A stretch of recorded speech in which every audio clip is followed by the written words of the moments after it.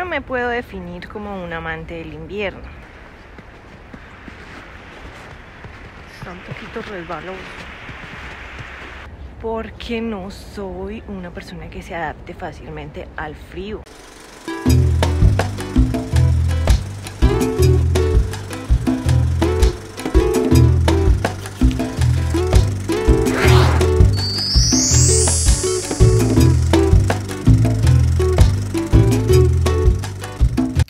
Días, disculpará mi cara recién levantada.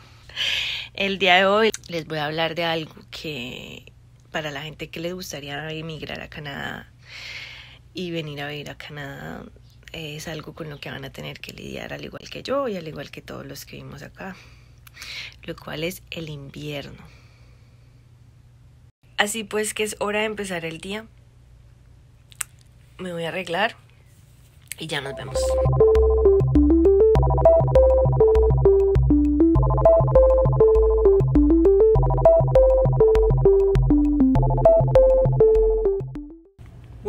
Y ahora sí, oficialmente para irnos. Botas, chaqueta, todo bien.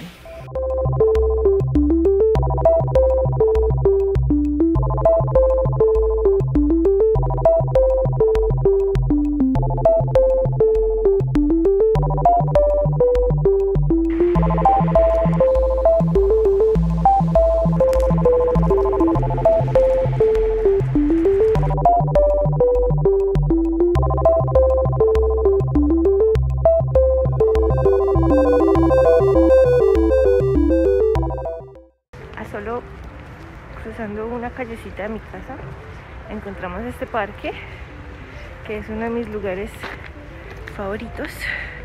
Voy a quitar un ratico esto porque no hay tanta gente como pueden ver.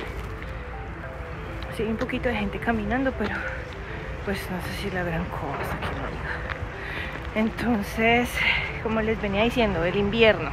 Yo no me puedo definir como un amante del invierno en realidad no lo disfruto tanto como algunas otras personas porque no soy una persona que se adapte fácilmente al frío. Y pues me he quedado pensando mucho en eso. La verdad no podría decirles qué me hace amar el invierno. Pero estos ocho años he aprendido poco a poco a adaptarme y a disfrutarlo cada vez un poquito más y más. Bueno, el invierno luce más o menos así.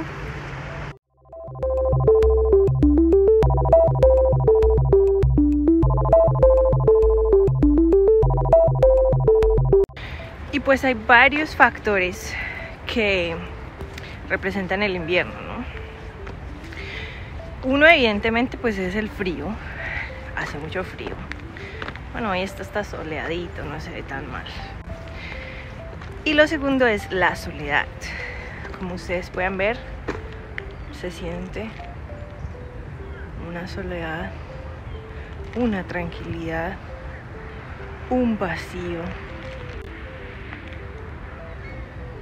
Pues así se siente el invierno.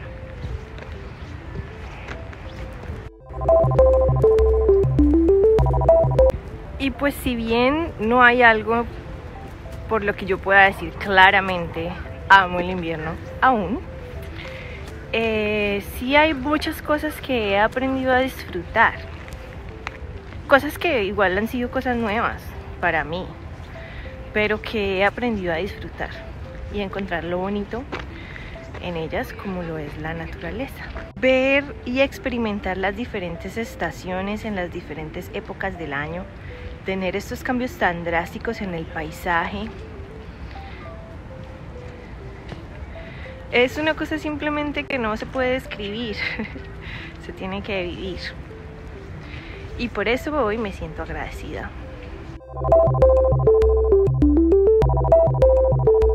Bueno, y aquí apoderándonos de esta banquita, seguimos con las reflexiones. Y sí, todo hasta acá ha sido muy bonito, y el invierno, y la costa, y el cuento de hadas, y la nieve perfecta. Pero la realidad es que la mayoría de los días no se puede vivir uno así de fresco y de feliz con este clima tan agreste. La mayoría de los días no se puede ni salir de la casa. Mirar por la ventana duele. Pero bueno, son cosas a las que uno poco a poco se adapta. y es verdad que este que esta pandemia nos ha traído una vida diferente un poco, pero también nos ha enseñado a valorar lo que tenemos. Y la verdad es que sí, aunque ustedes me vean así, toda fresca aquí el día de hoy, entre la nieve, ay, qué belleza. Eh, si me dieran a escoger y me dieran la oportunidad de elegir si quedarme en la nieve o irme a un lugar con el sol y el calor,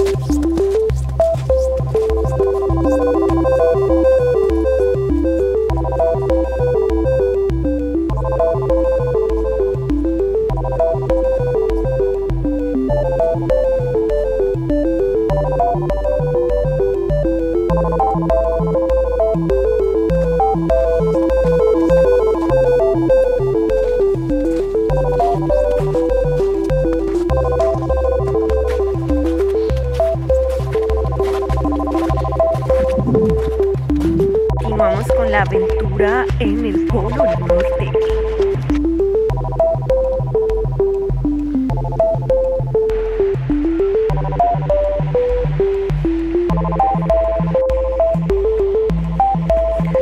Normalmente los sitios que son acondicionados para caminar no tienen nieve, pero a mí me gusta tomar este caminito que va a borde del lago Ontario.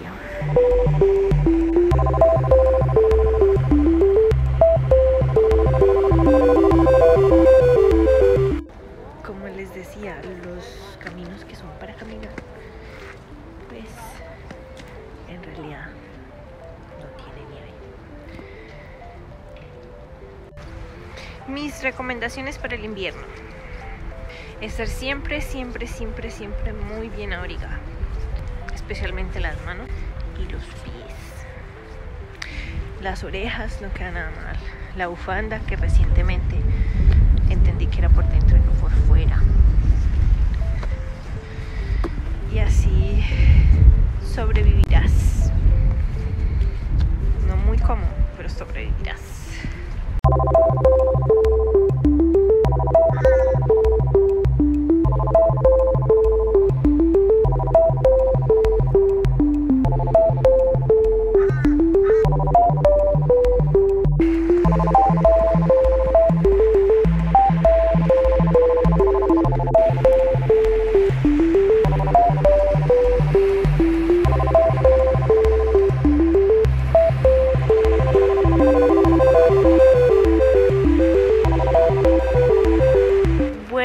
Eso ha sido todo por este video. Espero que les haya gustado mucho, los hice con mucho cariño.